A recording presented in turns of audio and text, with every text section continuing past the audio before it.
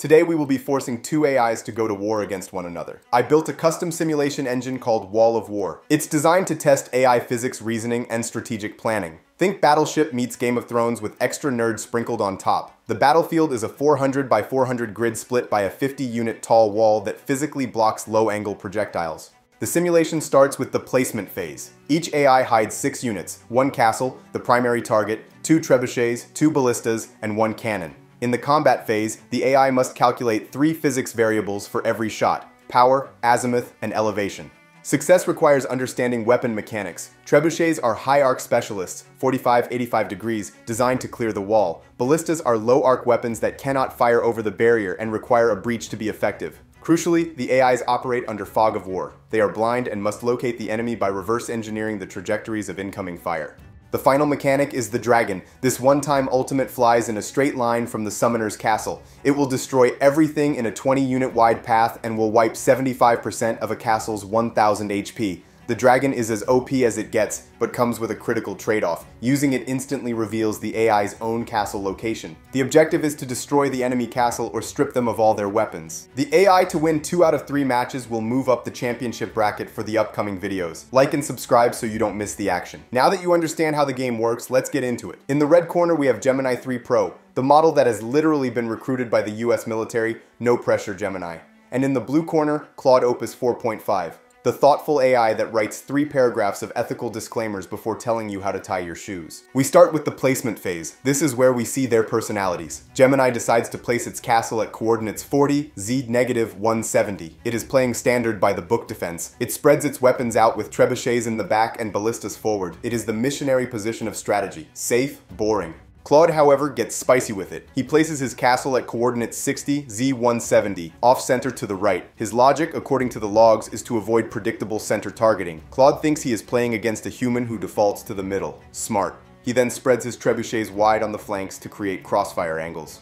Turn 1 Gemini opens the hostilities. It selects Red Trebuchet 2. It is doing the math saying it is aiming for estimated enemy castle position near center. It calculates an azimuth of negative 21 degrees elevation 60 and power 65. And it goes completely out of bounds. It overshot the map completely. Gemini just fired a multi-ton rock into the void. Great start, genius. Turn 2, Claude steps up. He sees Gemini's shot whiz past and decides to reverse engineer the trajectory. He says the enemy fired from approximately 118, negative 125. Claude fires Blue Trebuchet 1 with azimuth 15, elevation 55, and power 72. Another miss. Out of bounds at Z equals negative 250. Claude apparently thinks the map is the size of Texas. Turn 3, Gemini is already adjusting. It analyzes Claude's miss. It says backtracing indicates origin near x negative 130. It dials in red trebuchet 1, azimuth negative 2, elevation 68, power 61. It lands, but it hits nothing. But crucially, it landed in the enemy territory. We have range. Turn 4, Claude realizes he overpowered his last shot. He notes that he needs to significantly reduce power. He drops from power 72 down to 55, azimuth 0, elevation 55. It is a clean hit on the ground, but look at the coordinates. He is walking it in. Now we enter the dial-in phase from turn 5 to 10. This is where it gets sweaty. Gemini on turn 5 fires Red Trebuchet 1 again, power 62, azimuth 9. It lands at negative 100, comma 122, still churning dirt.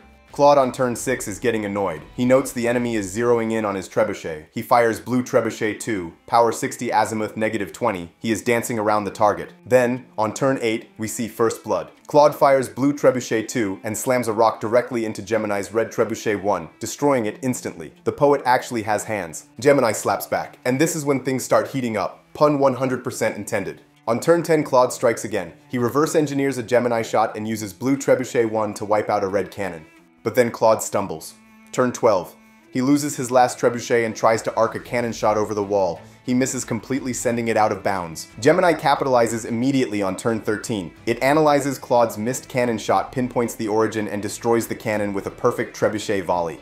By turn 14, Claude is desperate. He realizes he has no high arc weapons left. He is forced to start shooting the wall with a ballista just to make a hole. He is literally trying to tunnel his way to victory, while Gemini rains death from above. It was difficult for Gemini to reverse engineer the ballista's trajectory, but after a few attempts, it was able to narrow down the enemy weapon. On turn 45, Gemini spits in Claude's face and ends the ballista. We are at turn 47. Claude has exactly one weapon left, Ballista 4. Gemini has a full arsenal. Gemini's thought process here is cold. It says, I will use the dragon to guarantee a hit on this last weapon. This leaves the enemy with zero weapons, forcing them to use their dragon next turn. I have 1000 HP. Their dragon does 750 damage. I will survive. They will be disarmed. I win automatically. Okay, Gemini. You could just say you want to use the dragon now because dragons are cool. No need to explain yourself. And now Claude. After getting his cheeks clapped for almost an hour, Claude turns into the mother of dragons. Literally yells Dracarys in all caps as he flew on Dragonback into his own death. He could have just resigned, but I guess he wanted to test if he was a Targaryen or just a Snow. Round 1 concluded.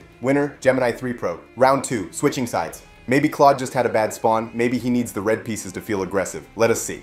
Turn 1 Claude fires Red Trebuchet 2. Azimuth negative 10, elevation 60, power 65, miss. Gemini calculates the trajectory from Claude's failed shot and fires Blue Trebuchet 1. Azimuth 15, elevation 60, power 56. It's a direct hit. Gemini destroys Red Trebuchet 1 on its first calculation. I guess the US military knows what they're doing. Claude and Gemini take a second to play hot potato, and then on turn 8, Gemini takes out another one. With no other choice, Claude switches to the cannon, knowing very well that if Gemini calculates the cannon's trajectory before he does, he's cooked. Claude fires, but his calculations were off. But it's okay. What are the odds that Gemini can reverse calculate Claude's cannon trajectory from the point of impact on his first attempt? I mean, that's harder than what Claude just attempted to do after all, right? Right. But Gemini said, hold my beer. Direct hit on Red Cannon 5. And then on turn 9 and 11, Claude is forced to deal with the wall again. I will keep my wall jokes to myself. Claude hops on his dragon again and says his favorite word. And this time, Gemini decides to play along. It's like watching a really cringy cosplay being played out by two grown men. With only 250 HP left on Claude's castle, all that's left to do is for Gemini to deliver two precision strikes to the castle to secure the dub. Gemini swept the floor with Claude. Comment if you think GPT or Grok will win the next match. If you enjoy these simulations and want to contribute to the API bills, join the membership and get your name on the wall along with other perks. Shout out to the very first member, Matthias Schindler. Your name will live forever on this wall, and it will be shot at by Claude for the rest of digital eternity.